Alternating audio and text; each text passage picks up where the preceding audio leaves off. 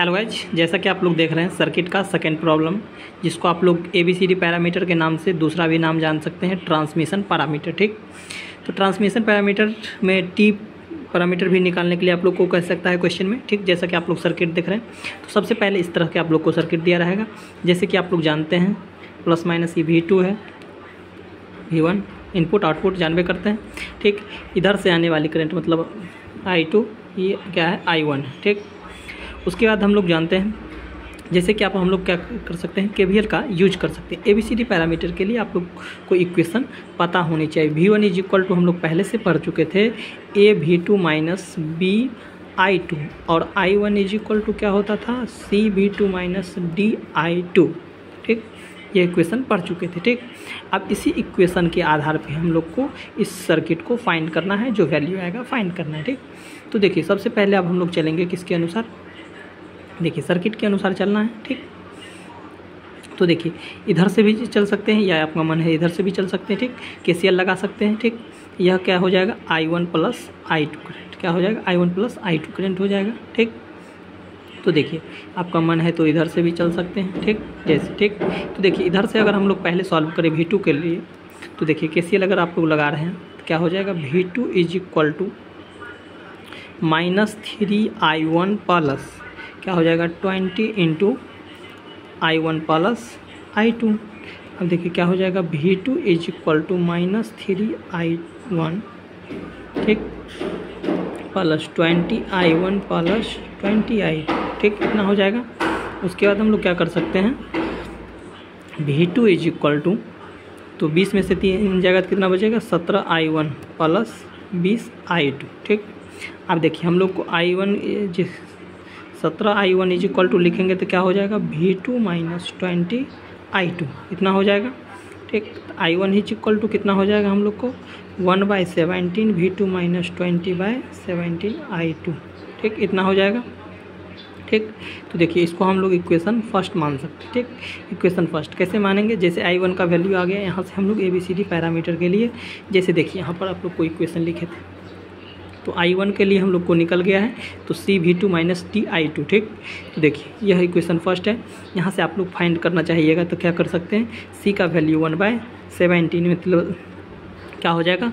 I one by भी मतलब current by voltage रहता है तो क्या रेसिस्टेंस इसका उल्टा यानी कि महो क्या हो जाएगा? ठीक, यह हो जाएगा महो में, ठीक? और इसका डी निकालना चाहिएगा तो क्या हो जाएगा? Twenty by seventeen unit less होगा, क्योंकि I one by I two ठीक? देखिए, अब हम लोग दूसरे क्वेश्चन की ओर चलेंगे। देखिए फ़र्स्ट इसमें के वी एल लगा सकते हैं के वी एल लगा सकते हैं, ठीक? के वी एल तो इसमें क्या हो जाएगा? V one is equal to देखिए, आगे हम लोग बढ़ते हैं। तो हो जाएगा इसमें, देखिए V one is equal to ten I one ठीक? Plus twenty into I one plus I two हो जाएगा इसके लिए। देखिए वी वन के लिए चलेंगे तो टेन आई वन फिर plus twenty into I one plus I two, ठीक? तो देखिए, इतना अब इसको हम लोग सॉल्व करेंगे, क्या हो जाएगा? I one is equal to ten I one plus twenty I one plus twenty I two. तो V one is equal to twenty plus ten, thirty हो जाएगा, I one plus twenty I two, ठीक? तो देखिए V one is equal to हम लोग को जो इक्वेशन पैरामीटर के लिए होता है A B C D parameter के लिए V one is equal to क्या होता है? A V two minus B I two होता है। ये होता है। इस तरह को बनाने के लिए अब हम लोग क्या करेंगे? जो अब आई वन का वैल्यू जो समीकरण फ़र्स्ट से हम लोग को आया है, यहाँ पर पुट अप कर देंगे, ठीक? तो V one is equal to thirty into I one का वैल्यू क्या आया था? One by seventeen V two minus twenty by seventeen I two है sorry I two plus twenty I two ठीक? कितना है।